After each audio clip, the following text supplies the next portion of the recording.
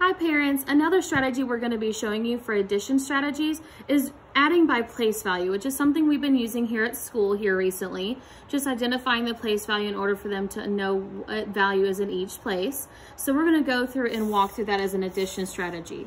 So I've already written down the problem. I have 146 plus 235, and I'm gonna go ahead and separate that into expanded form so we can add that by place value.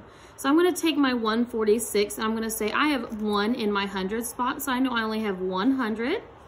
And I need to add my 10 spot next. So I'm gonna look at that and I have four. So I need to make sure that my student is writing this correctly and saying 40 rather than just four. That's where we have a lot of problems. And I'm gonna look at my one spot.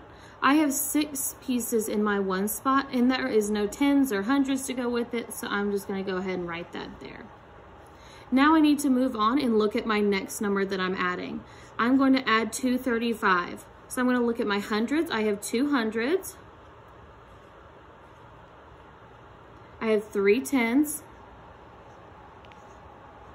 And I have five ones.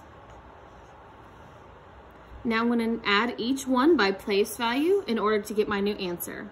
So I'm gonna start at my ones. We know that six plus five is 11. So we used to carry over, but what I have my students do is if I have one extra, I'm gonna put my one extra, I'm gonna make sure they write 10 up here. So they know they're not adding just one when they're adding, they're adding an extra 10. So I'm gonna add 10 plus 40 plus 30. So 10 plus 40 is 50, plus three is 80. So I'm gonna write my eight in my 10 spot.